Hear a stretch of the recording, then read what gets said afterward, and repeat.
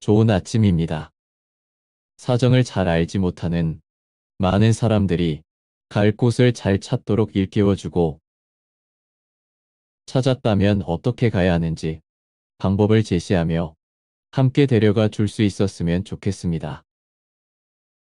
남과 비교하거나 경쟁하기보다 그들의 사정과 형편에 맞게 한 걸음씩 앞으로 나아갈 수 있도록 해야겠습니다. 즐겁고 행복한 동행의 길잡이가 되어 함께 성공을 꿈꾸며 this way 1위로 나아갑시다.